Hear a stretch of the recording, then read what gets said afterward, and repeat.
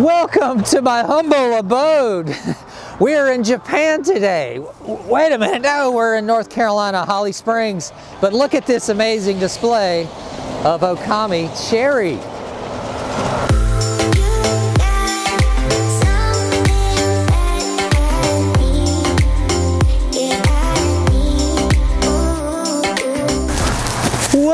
Welcome everyone. I just broke my leg. No, I didn't. Thank you for joining us today, Outdoor Inspirations. I'm Kevin. And just look at this amazing cherry tree above me. It's so, so pretty. And Blake just got nailed. Um, this is a Okame cherry and it is an early spring blooming ornamental tree to add to your landscape project. And you know, beside me, I've got all these shrubs, and that's something neat with uh, plants and trees is you can combine, combine?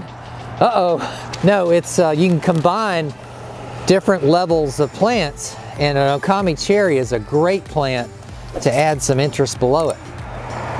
This is an ornamental tree, so it's gonna get 20 to 30 feet tall.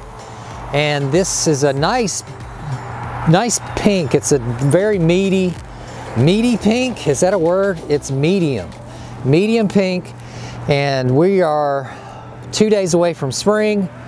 That's probably a lie, it's probably a week away, but Okame Cherries is a very early spring blooming tree, and we're right at the cusp of spring.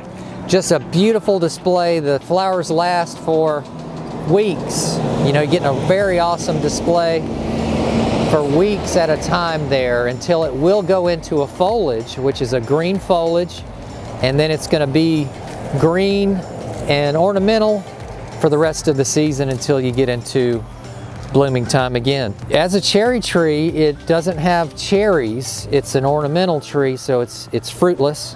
Cherry trees have Kwanzan, Yoshino. There's a lot of different varieties of cherry tree, and we love them all, most of them. We use a lot of those. But I just wanted to stop and show you this amazing Okame cherry which doesn't get overly huge and you can add that to a lot of varieties uh, around your home and landscape. So next time guys, we love you and take care of those plants. They will take care of you.